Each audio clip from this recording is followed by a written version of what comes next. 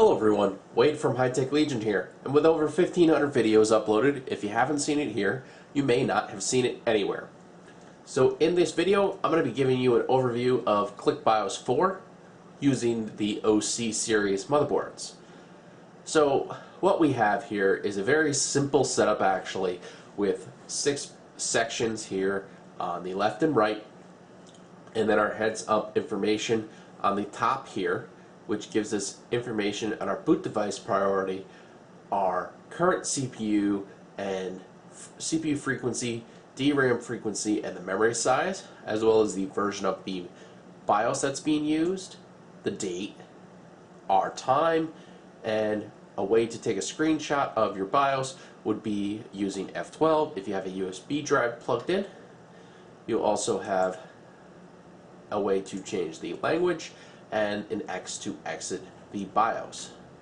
Right here on this little pane, we have two buttons. We have the OC Genie button and now quick access to XMP profiles. So if you click that button, it'll enable the XMP profile on your memory and set all those settings appropriately. We also have a quick heads up of temperatures for the CPU and the motherboard, and of course the model of the motherboard we're, being, we're using. Under OC Profile, we have the ability to save up to six OC profiles. You can load them from the ROM, you can save them to a USB drive, and you can load them from a USB drive. So before doing an update of your BIOS, of course, I recommend if you have overclocking profiles into here to back them up to a USB drive so you don't have any chance of losing them. One thing you'll notice is when we scroll over a setting, we get a little information over here on the right uh, a little quick help on what that setting is for. And we also have our information on how to navigate the BIOS right here. As we scrolled over to the side, you saw that the other buttons popped up again, so we can go into other settings, such as our hardware monitor. Our hardware monitor gives us lots of great information on our CPU and system, gives us temperature, and allows us to set fan curves in here as well as your voltages down here. You can set all to full speed, set them all to default, or cancel these settings out. Of course, you have an about and a help here, as well as an X to close the hardware monitor. Under Board Explorer, definitely one of the best features of these motherboards is you are able to scroll over and see what's plugged into the highlighted areas so we're scrolling over a system fan connector and it's actually giving us the information on the fan, what RPM it's spinning at. If we scroll over our PCI Express X16 slot, we get information that we have an ATI graphics card, an AMD 280X plugged in actually, and we have information on our memory here as well as shows you what each area is. As you see, we scroll over the SATA ports and it shows us which ones are populated and what drives are in them. Um, one thing that definitely would be nice in my mind is if the uh, these ports actually said which controller they're using when you scroll over them. Granted, it does say that in the specifications, so you'll know if you're using port 1 through 6, you're using the Intel controller, and if you're using port 7 through 10, you're using ASMedia controllers. But it still would be nice to be able to see that right on this Board Explorer.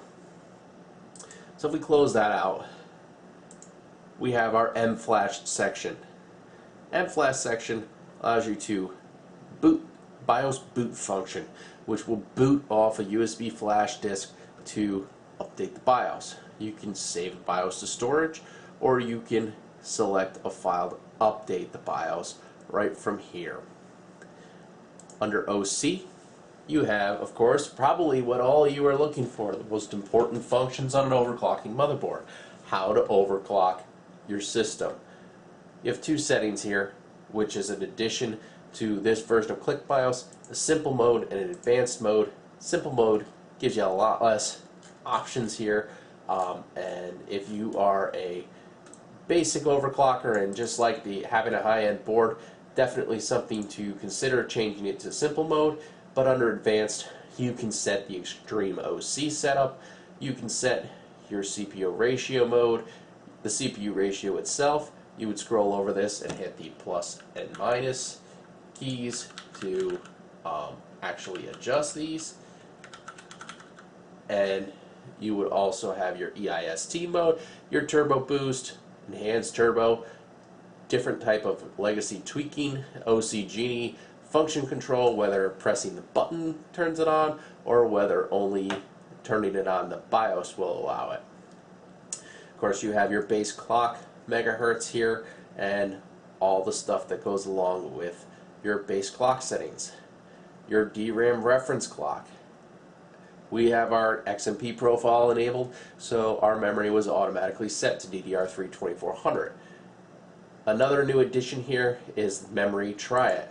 Memory Try It allows you to try to get a higher performance boost out of your memory so you can try setting uh, the CL latency level to different things and see if your memory will take it. DRAM timing, timing mode, DRAM training configuration here, as well as memory fast boot. Voltage settings. Of course, you have all your voltage settings here for your overclocking. The ones with the brackets around them allow you to click on them and set the set and enable or disable or set the voltage manually and the ones that do not have the brackets require you to highlight over them and use the plus and minus to adjust the offsets or the voltages themselves. Under other settings you have it enabled whether the memory was changed or the CPU was changed that gives you a little warning when the system boots up if you've changed memory or CPU CPU specifications and technology information on what your CPU supports. You can use this little back button here to get back to those main screens. You also have a memory Z which gives you information on each stick of memory that's installed and your CPU features. So you can enable or disable certain CPU features under here if you'd like to. And of course our basic settings here we've got a system status screen which allows you to change the date and time as well as giving you information on what's plugged into your ports just sort of like your board explorer but in a text version and DMI information for the board itself obviously this stuff doesn't really matter to most people but with a special utility you can actually program these to be filled in so if you're pulling up AIDA, for example, you'd get this information as notes. Under Advanced, you have all kinds of options here for the PCI subsystem, for your ACPI settings for your power LED, which integrated peripherals are enabled, and your SATA mode, AHCI mode, which this board does default to it, which is good since most drives support that and operating systems require that at this point. You have your integrated graphics configuration, which graphics adapter starts up first. Rapid start technology, whether that's enabled or not. Your USB configuration. Intel Smart Connect technology, whether that's enabled. Power management, so the EUP 2013, whether that's enabled or disabled, whether the system turns back on automatically after a power loss, defaults to power off, onboard functioning of the LED controls. You have your Windows 8 8.1 features specifically, so if you enable fast boot or MSI fast boot. I would not enable both of them if I were you because it'll be practically impossible to get back into your BIOS without using the go to BIOS button on the motherboard, which this one happens to have. Brings you straight into the BIOS on boot. But that'll allow you to boot up Windows a little bit faster if you have really no need to get into your uh, BIOS. You have wake up event scheduling, and you also have information on your NIC configuration here.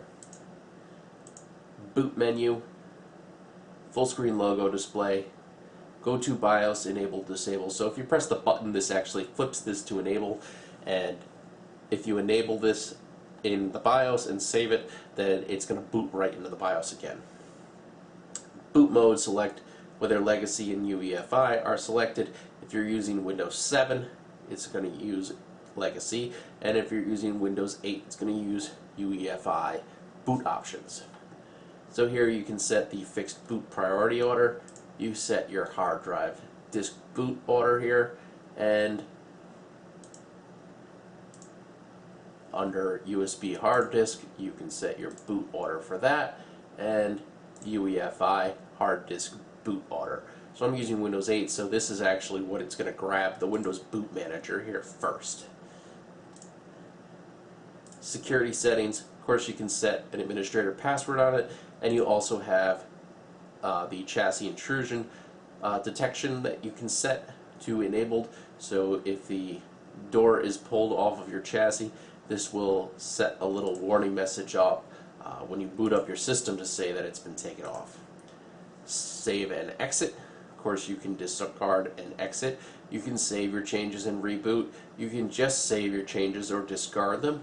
Restore to optimal defaults and also set your boot override on this page.